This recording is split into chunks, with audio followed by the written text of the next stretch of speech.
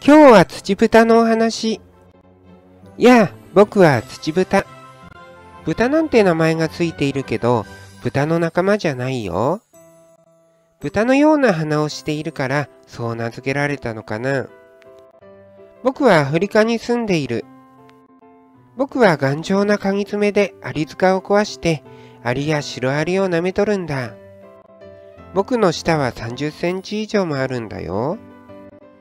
今日も見てくれてありがとう。またね